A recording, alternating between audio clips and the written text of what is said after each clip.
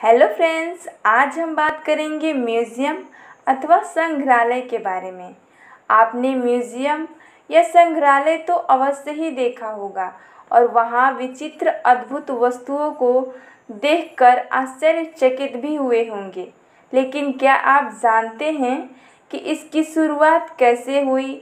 Museum शब्द की उत्पत्ति ग्रीक भाषा के माउजियन शब्द से हुई है। जिसका अर्थ है एकांत में अध्ययन करने का मंदिर। विश्व का पहला म्यूज़ियम अलेक्जेंड्रिया में स्थित है, जो कि ईसा से तीन शताब्दी पहले बनाया गया था। इसमें शोधकर्ताओं को ज्ञान देने वाली संसार की अनेक वस्तुओं का संग्रह किया गया था। इसके बाद ऐसे म्यूज़ियम की स्थापना हुई, जिसमें अनेक प्रकार के यंत्र, जानवरों की खालें, हाथी दांत आदि रखे जाते थे। उन्नीसवीं शताब्दी में राजा महाराजाओं ने म्यूज़ियम की स्थापना में बहुत सहयोग किया। इनमें वे देश विदेश की विचित्र वस्तुओं का संग्रह करते थे। हालाँकि ये म्यूज़ियम केवल राज परिवार और उनके सगे संबंधियों के लिए ही थे। उसमें साधारण व्यक्ति को जाने की अनुमति नहीं थी। कुछ समय बाद फ्रांस की क्रांति हुई, जिसके बाद म्यूज़ियम आम लोगों के लिए खोल दिया गया। इसके बाद इसके लिए अच्छे बड़े भवनों का निर्माण किया जाने लगा। 1830 में जर्मनी के बर्लिन शहर में फाल्टेस म्यूज़ियम का निर्माण किया गया। आधुनिक ढंग का सबसे पुराना संग्रहालय ऑक्सफोर्ड में है, जिसका निर्माण सन सोलह में हुआ था। 1874 में स्थापित American museum of natural history का सबसे बड़ा म्यूज़ियम होने का दर्जा प्राप्त है।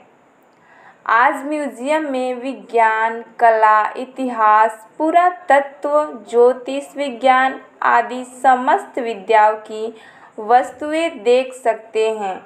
आइए जानते हैं अजीबो गरीब संग्रहालय के बारे में।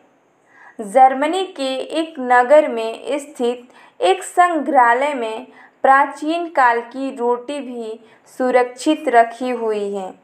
इस संग्रहालय में समय समय पर खाई जाने वाली रोटी तथा उसे तैयार करने का तरीका व अन्य विवरण भी दिया गया है।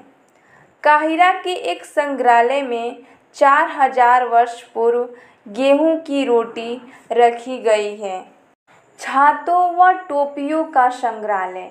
जर्मनी के स्टार्टगार्ड नगर में एक ऐसा संग्रहालय है जिसमें छातों के सैकड़े नमूने रखे गए हैं, जहाँ धूप व वर्षा से बचने के लिए उपयोग में लाए जाने वाले प्राचीनतम छातों से लेकर आधुनिक ढंग व आकर्षक छाते भी रखे गए हैं। कुछ ऐसे छाते भी हैं जिन्हें आसानी से बंद करके अपनी जेब में रखा जा सकता है। जर्मनी के हैम्बर्ग में टोपियों का संग्रहालय है, जहाँ प्राचीन युग में उपयोग किए जाने वाले घास के टोप से लेकर नए ज़माने के फैशनदार नए से नए टोप यहाँ देखे जा सकते हैं।